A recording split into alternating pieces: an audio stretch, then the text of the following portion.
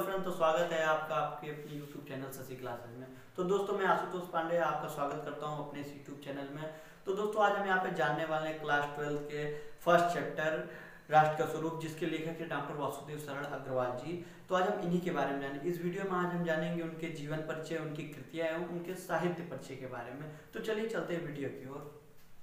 देखिए, जैसे वीडियो में दिया गया, ये इनका जीवन परिचय कई कब कब पूछा गया, कितने सालों पूछा गया, ये सब इन्हें देखिए। 2013 में पूछा गया था 14 15 16 17 उन्नीस, अठारह में नहीं पूछा गया था, उन्नीस, बीस, इक्कीस, बाईस। इस साल भी पूछा गया ये मोस्ट इंपोर्टेंट है इनका जीवन परिचय।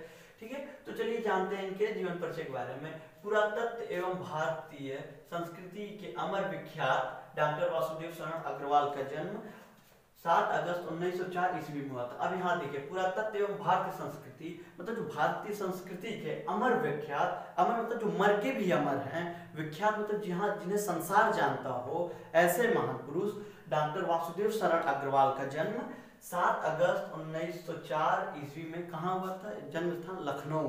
इनका लखनऊ में हुआ था, ठीक है?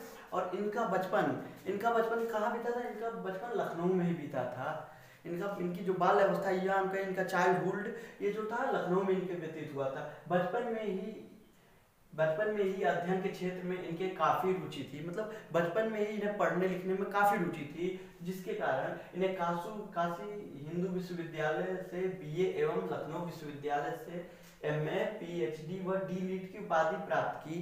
ठीक तो देखिए अब यहाँ पे एक क्वेश्चन बन रहा है एमसीक्यू का क्वेश्चन बन रहा है। कि क्या कहते हैं, अगर यहाँ पूछ दिया गया एमसीक्यू में कि डी लिट डॉक्टर वासुदेव शरण अग्रवाल ने डी लिट की उपाधि कहाँ से प्राप्त की थी तो आप सब लिख सकते हैं, इन्होंने डी लिट की उपाधि लखनऊ विश्वविद्यालय से प्राप्त की थी। या ऐसे ही पूछ सकता है कि प्रारंभिक शिक्षा कहाँ से इस प्रारंभ हुई थी तो इनकी प्रारंभिक शिक्षा काशी हिंदू विश्वविद्यालय से बीए से प्राप्त हुई मतलब प्रारंभ शुरू हुई थी। ठीक है तो यहाँ देखिए, उपाधि डी लिट की उपाधि प्राप्त हुई थी।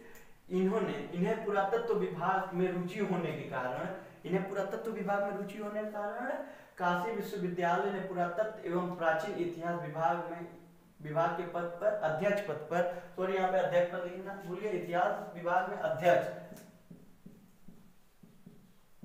अध्यक्ष अध्यक्ष के पद पर आसीन थे, ये क्या काशी हिंदू विश्वविद्यालय में पुरातत्व एवं प्राचीन इतिहास में इनकी काफ़ी रुचि थी? तो इन्हें काशी हिंदू विश्वविद्यालय ने वहाँ पे, वहाँ के अध्यक्ष पद पे नियुक्त कर दिया था। ठीक है? तो चलिए हम बढ़ते हैं अगले तरफ़।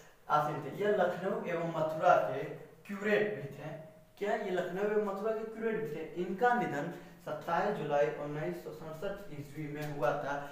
भारत सरस्वती माँ के वीर सपुत्र उनकी उनका निधन 27 जुलाई उन्नीस सौ सड़सठ में हुआ था।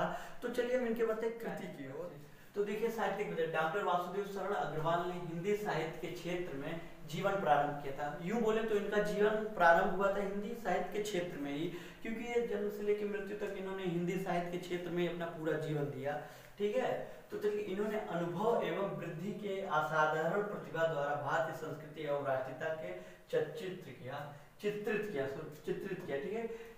यह लखनऊ यह लखनऊ के पुरातत्व संग्रहालयों में निरीक्षक पद पर रहे शोक निबंध मूल्यवान परंपरा के परंपरा को इन्होंने प्रारंभ किया था। ठीक है, शोक निबंध मूल्यवान परंपरा को किसने प्रारंभ किया था? तो डॉक्टर वासुदेव शरण अग्रवाल ने। ये भी आपका एमसीक्यू क्वेश्चन में आ सकता है। ठीक है तो चलिए देखिए इनकी कृतियाँ देख लेते हैं। कृतियाँ देखिए इनकी ज्योति। पृथ्वी पुत्र, कल्प, वृक्ष, वेद, विद्या, मातृभूमि, कला और संस्कृति।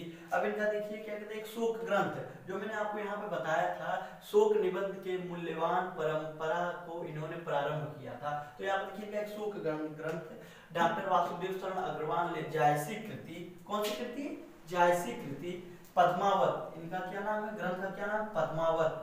जायसी कृति के पद्मावत का संपादन किया था, ठीक है? तो आयो दोस्तों, आपको ये वीडियो समझ में आई हो और आपको अच्छी लगी हो, अगर अच्छी लगी हो तो इसे लाइक करें कमेंट करें, अपने फ्रेंड्स के साथ ज़्यादा से ज़्यादा शेयर करें और हमारे यूट्यूब फैमिली के साथ जुड़ते रहें। जय हिंद, जय भारत।